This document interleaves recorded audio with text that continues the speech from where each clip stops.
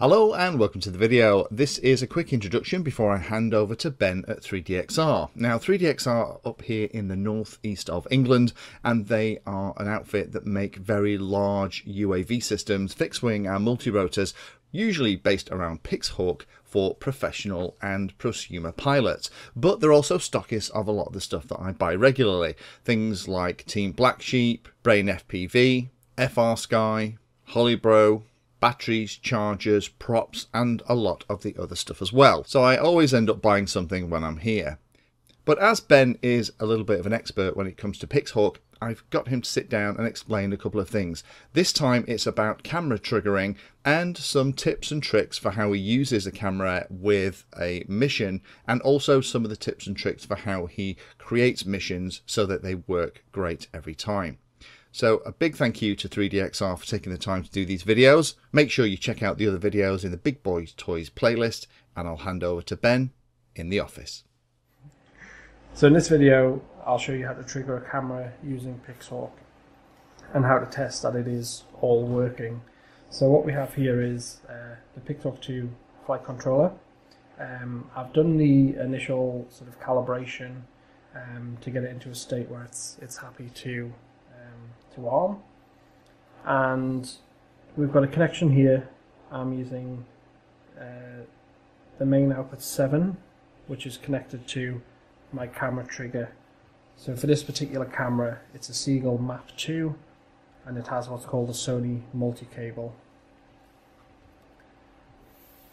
There's a couple of parameters to set when using a camera trigger.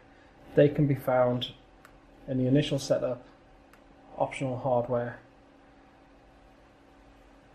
and get the mouse to work. Um, need to go lower down. Camera gimbal. And on the bottom of this menu here we have one for shutter. So servo 7, that corresponds to main output 7. And for this particular camera trigger we need to have a pushed value of 1700 and a neutral or not pushed value of 1500. Then the duration that that's held for in this case, it's a second. So is those that information in the manual when when you get the piece? Does that come along with it? Yeah, so you can find this information in the documentation for the Seagull trigger, and also general camera triggering information on ArduPilot. Uh, there's other methods to trigger a camera. You can use relays and alternative uh, camera triggers, whose settings will vary. If you wanted to put this into main output 8, you could change this here to servo 8. In order to test that it's actually triggering, first thing you do is once you have made those changes to the camera trigger, you'll need to reboot your Pixhawk, which we've already done. To test the camera trigger, you also need to have power to the rail for the Seagull Map 2. So in this case, we're using a 5 volt BEC which we've just connected up here on the bench. You also have to have the safety switch pressed. So we've already done it in this case. We have the solid red light, so the safety switch has been pressed. From the main screen, flight data screen and mission planner, right click, trigger camera now. And as you can see, it actuated the shutter. Right click, trigger camera now. So now we know the camera trigger is working. If you wanted to operate the camera from a switch, so say on a multi-rotor, you might wish to be able to take pictures on command. You could map um, a toggle switch on, for example, your Taranis to pass through to main output 7 in this case. When you're using cameras for mapping, the triggering command is produced in the roof planning and the automatic waypoints. So you need to have tested first that your camera triggers are working to ensure that it's triggering pictures during flight. There's a little indicator on these Seagull ones. The red light pulses or fades in and out when it's in a happy state. So in this example here, we'll show you how, um, for fixed wing use, a survey grid is drawn which will automatically trigger the camera. In this case, this field here is going to be the area of interest. In order to automatically insert a grid, I need to first draw a polygon. I can do this in two ways. By right clicking, draw a polygon and start adding polygon points. Or there's a handy shortcut in the left hand side here which I can click on and then it becomes a polygon tool. These red markers define the boundaries of the polygon. Now that I have this polygon, I can adjust it or add more points, or in this case fill it with an automatic waypoint. So in this case, I've right clicked, brought the extra menu, navigated down to auto waypoint, and the option I'm going to use is survey grid. This automatically puts in um, a set of grid lines based on the parameters you choose. The first thing I'm going to do is tick advanced options. This gives more control of the camera configuration and grid options. I need to define which camera I'm using. The list has some common cameras where we've got a Sony a6000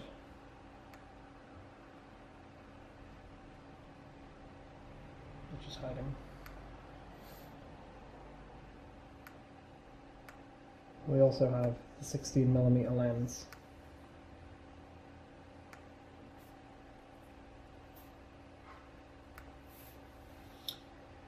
If the camera you're using is not listed, there's a couple of ways you can save its information.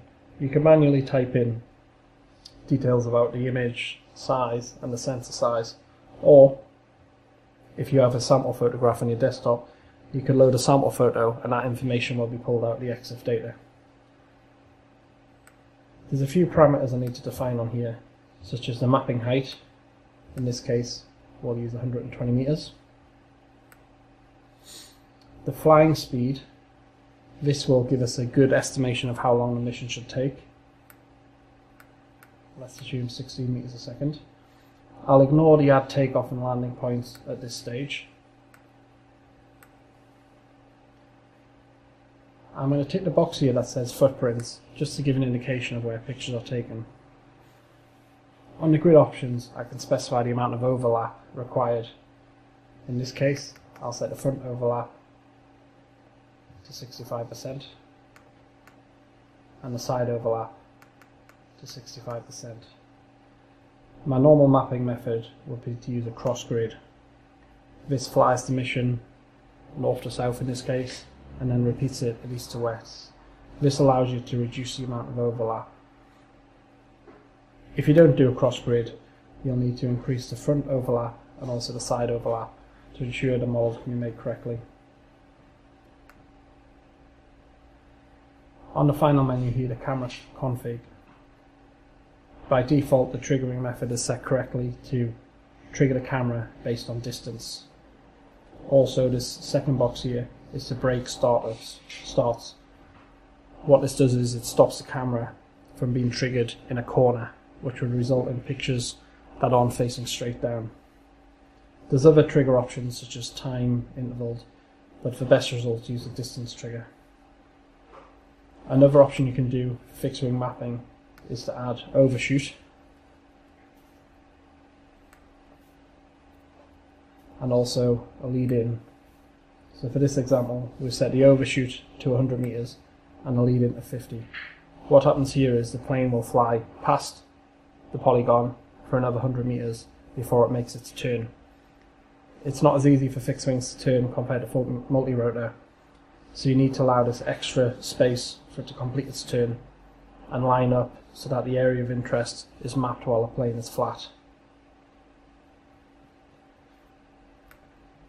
this example of a mission here, the plane would fly the grid lines and trigger the cameras at the correct distance intervals to give you the required overlap specified in the settings. Accept the mission. So that section just shows a grid, but uh, I'll just show you a full mission. We can still record it. So my normal method for planning a complete mission for this particular field with a fixed wing. This would be our takeoff location. First, we're going to add a command called takeoff. We're asked to specify an altitude. In this case, I'll use 100 meters. And also a takeoff pitch. We'll use a default of 15 degrees.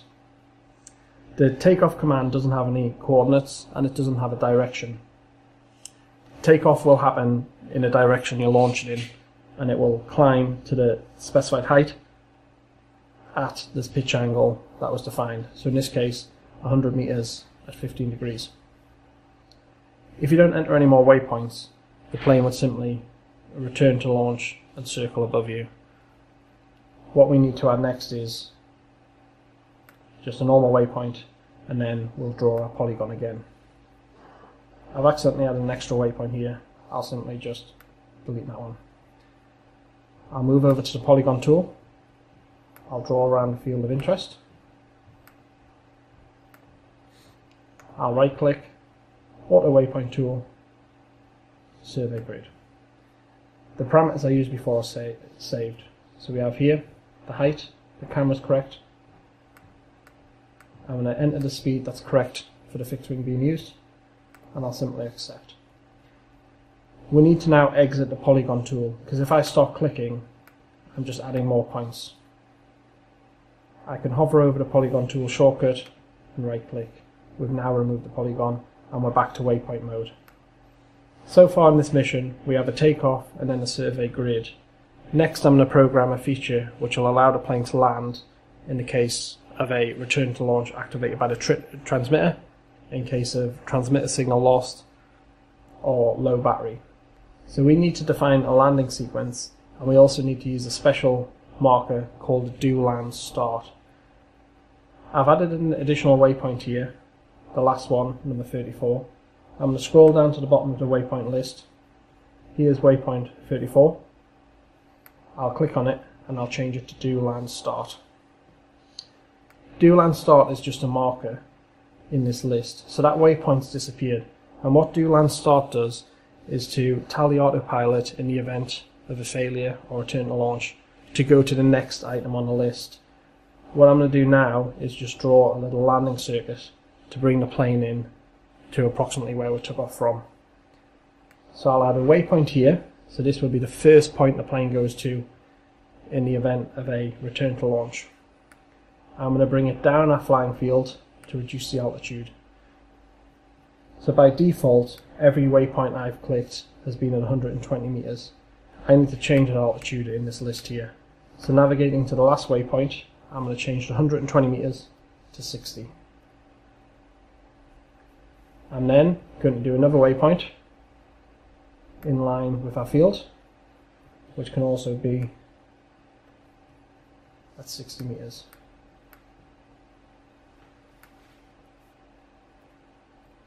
And now I'm going to position the aircraft to head back towards the flying field. This is going to be my second last waypoint before we land. So this one I'm going to set to 30 meters. The final waypoint, which is going to be roughly where our home point is, will be a land. I'm going to right click and land. It's very important to have the waypoint before land to be about 30 meters and to be at the correct angle so the change in height between the last waypoint and ground should be at about a 10% slope. Let's check that out. So in this case, the slope is shown as higher. I'm going to move the waypoint further away from land.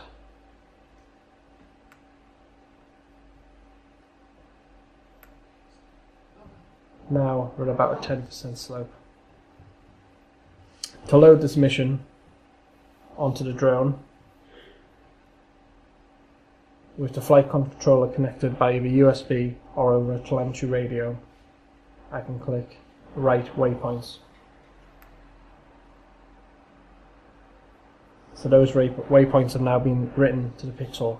If I want to check that it has worked, I can right click and delete this mission and then read the waypoints back. It prompts you to reset the home coordinates. I'll accept. So what we have here is all those waypoints have now been pulled back from the pixel so I know they're saved. There's a couple of little tricks you can do if you've planned complex missions. I could save this current mission path to the desktop, save waypoint file. This will allow you to save and share the waypoint file. Also, when drawing a polygon and planning a grid, there's options to save within the waypoint tool. So I'll just bring up the survey grid tool again. If you're doing a very complex, large mission, you may wish to change the flight angle. And you might not know the angle you want to fly at until you arrive on site and see which direction the wind's going. I personally fly crosswind when doing fixed wing mapping.